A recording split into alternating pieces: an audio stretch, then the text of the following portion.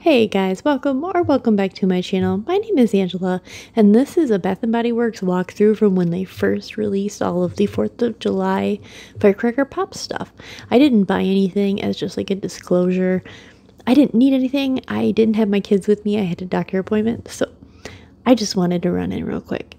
They had, you know, buy three, get two, nothing. Some soaps on sale, really no sales. They had the member appreciation um, sunscreen on sale.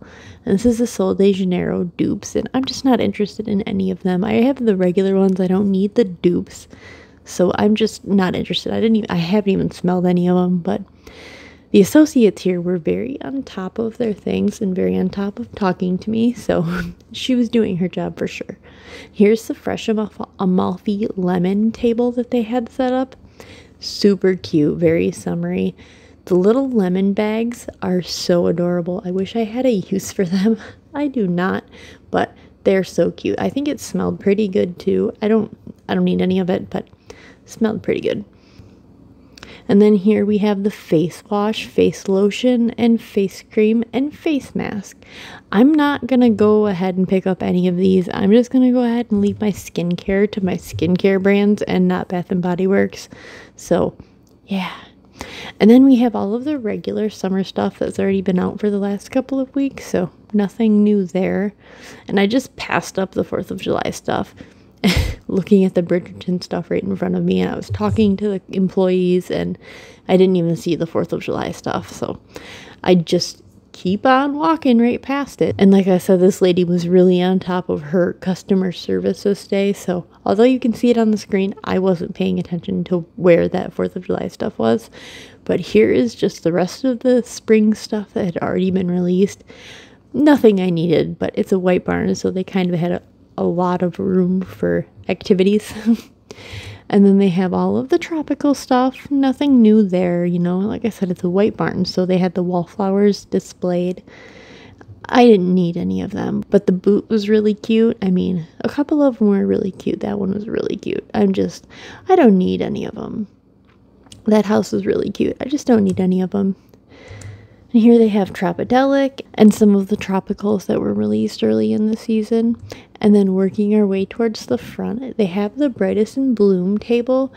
And there really wasn't anything fancy, just a little tiny square.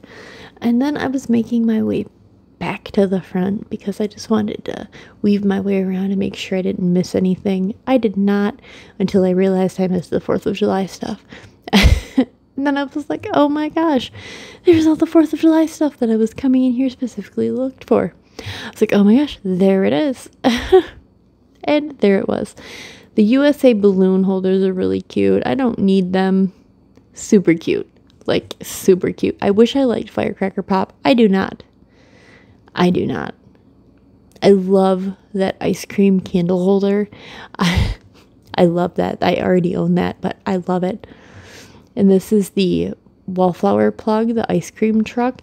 That's also cute. That's a, a wallflower projector. Super adorable. And over here on the soaps, they have a PocketBac holder, a little pineapple.